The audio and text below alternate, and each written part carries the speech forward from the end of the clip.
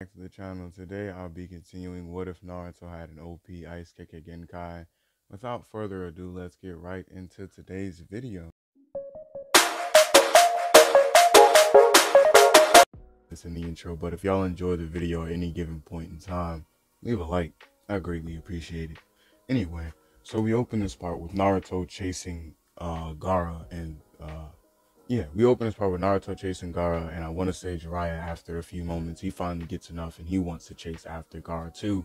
Because although they think, like they know Naruto might be able to hold his own, or you know, the Nine Tails might get released too, that's too much of a threat either way it went. Because if Naruto was able to hold his own for a little while, and then the Nine Tails got released, that just meant that they just barely bought, they just barely had enough time to defend themselves against the Nine Tails. And for all they know, the Nine Tails could have a completely different agenda from the One Tails. Because the One Tails, from all we can see right now, just wants to get away. The Nine Tails could just come back and destroy the entirety of the Leaf Village. So, you know, like Jiraiya, he's like headed toward that location. But as like the closer he gets, he notices that it gets colder, and he can see the little ice, like he can see the trail of ice that Naruto left behind him, chasing after Gaara. So when he gets to the um when he gets to the fight, what he sees is like this giant dome of mist, and like he can actively see because Naruto's Kekkei Genkai is decent, but the One Tails is fucking huge.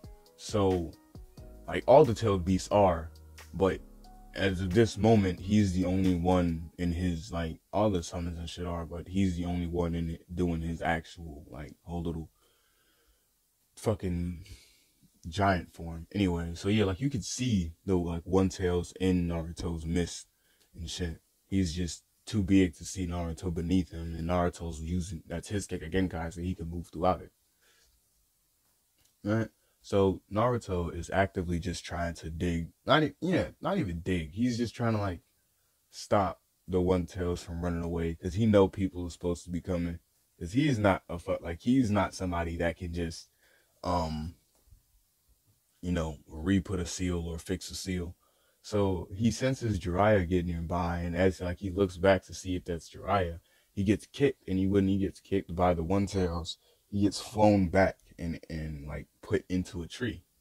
And Jiraiya, after seeing that, he summons Gamabunta, Frog, and you know he's like, "Fuck it, we finna get active."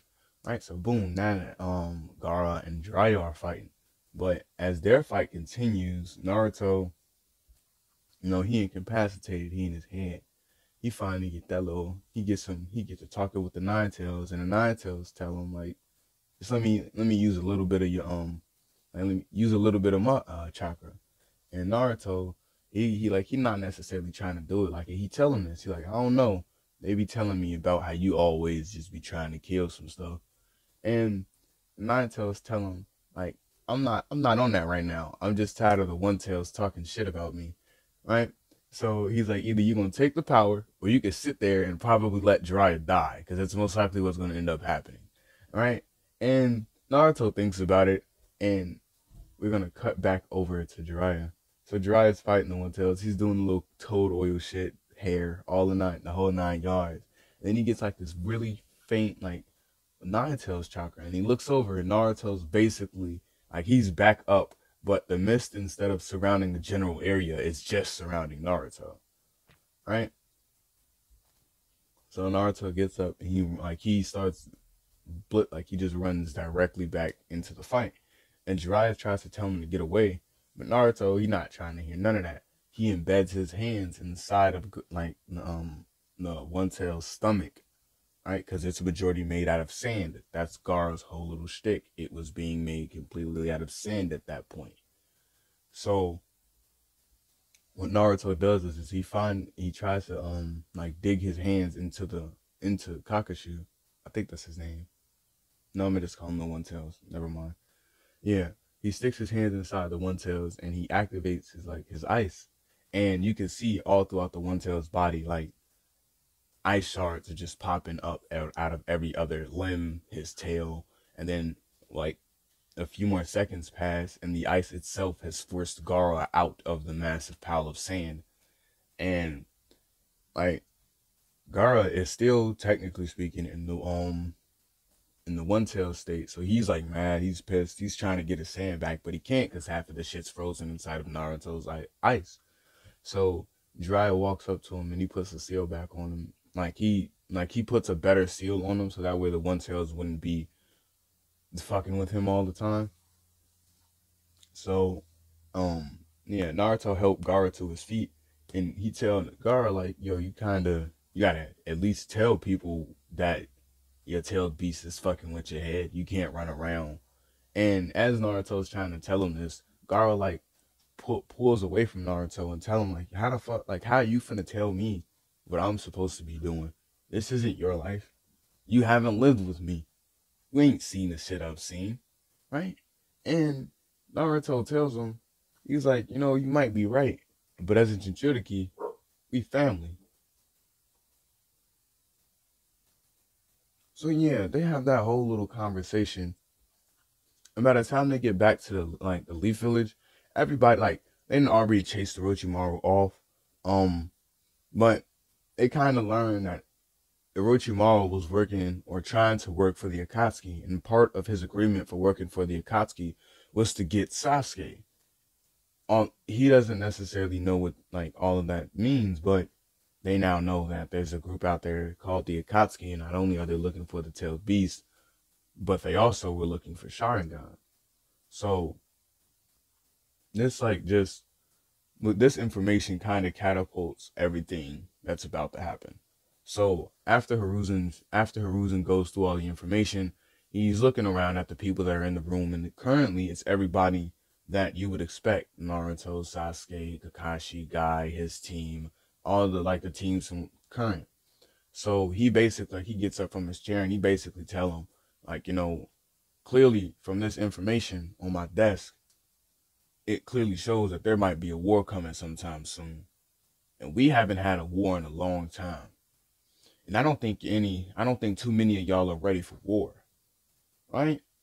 And as he's saying this every like every other shinobi like looking around at each other like choji looking at naruto naruto looking at sasuke sasuke looking at sakura sakura is looking at hinata because hinata is still injured as fuck although she was healed because of neji. And neji's just sitting in the background humbled as fuck right so you know he's sitting like he's telling them this and he's like so basically after tomorrow we gonna send y'all on a few missions but that's like y'all last missions. Y'all gonna go on some missions, and then for the rest of like next year, y'all training. That's it. I got three missions to go on each piece, right?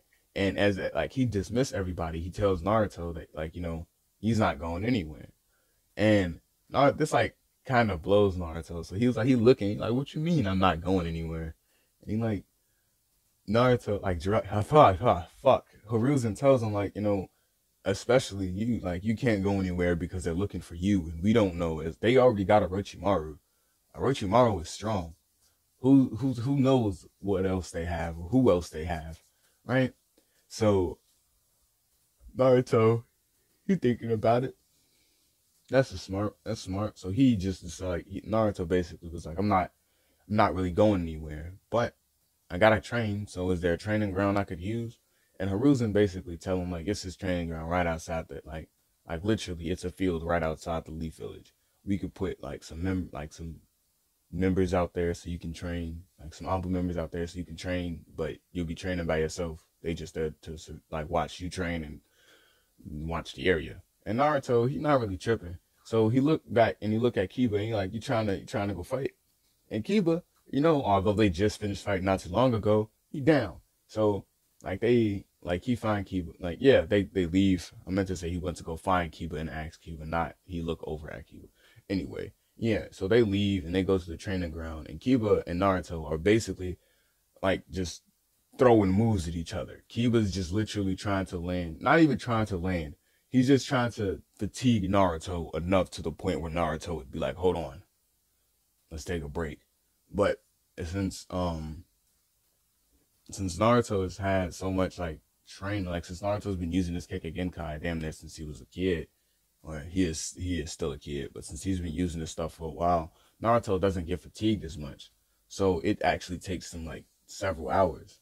And during those hours, like one of the Anbu members and like around him, like they jump down and they're like, okay, y'all gotta go back to the Leaf Village. And Naruto, he shrugs his shoulders. He mad, but he shrugs his shoulders and he start walking back into the Leaf Village. And Kiba, like he he real mad. He like, you know, we was we was still training. I know you saw that good old training session. Why you getting in the way? Why we gotta go back in there? Now keep in mind, Kiba, although he was there for the y'all not ready for war part, he wasn't there for the Naruto said he was he was gonna listen to you know what they had to say. So as Kiba's like arguing, one of the Anbu member, like the Anbu member, is trying to tell him like you know there's no time for this. Just get back inside the Leaf Village, and as like they're like as he's trying to argue, as Kiba's trying to argue with this dude, um, a uh, a kunai comes flying out the uh, forest, and like they look back and it's like a whole bunch of like just mercenaries like yeah, it's just like a whole bunch of mercenaries, and they got like a little um, they got like all the same cloak on. It's just they're not they're not the Akatsuki. They just got the same cloak on, right? So yeah, the uh the kunai land inside uh uh Kiba's like not chest but like his shoulder. So like he he hit the ground. Naruto run over there and he grabbed Kiba and he pulled Kiba to the back and the Anbu members begin to fight the like the little bandits. That's basically what they are. After Orochimaru escaped, he's he gave a whole bunch of money to the biggest group of bandits he could find to go see, just to make because he knew that he fucked up by giving them the Akatsuki by act like he dropped. Basically, he dropped the Akatsuki paper. That, that, that that's basically it. He was in the middle of fighting Hiruzen after Jiraiya had left, so now they jumped in, started shaking some rooms, and then he and he, you know, himself got shook, dropped the paper, and then ran. Not like he pulled it out of his pocket and threw it on the floor. Like he tried to turn around and dip and it failed. Anyway, so yeah, he know he fucked up. And as he's thinking this, the masked man appeared and he like, so so we just hand him like we just giving out information, huh? And Orochimaru tries to explain to him, like, you know, I didn't expect any of that to happen. And and the masked man goes on to tell him, like, you know, I thought I thought you were supposed to be a skilled shinobi. Somebody that's supposed to be elite assigning level shinobi at that. Right? And the masked man, like, as he's talking to him, he tells him, like, you know, you disappointed me. And like he basically like he just berates him and tells him to do better, and then he leaves. But throughout all that time, like Orochimaru was thinking in his head, like, you know, you also got a Sharingan. You might be stronger than me now.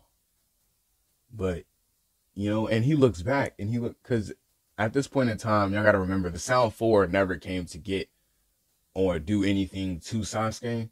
So that bone dude is still alive. And since Sas since Itachi, not Itachi, fuck.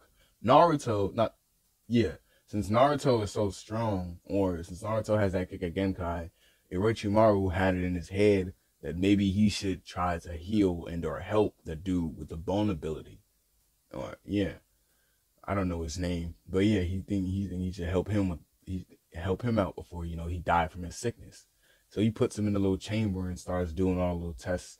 And after a few months, we doing a little time skip. After a few months, dude come up out the little little pod and Orochimaru got this big ass, like got this huge grin on his face, ear to ear.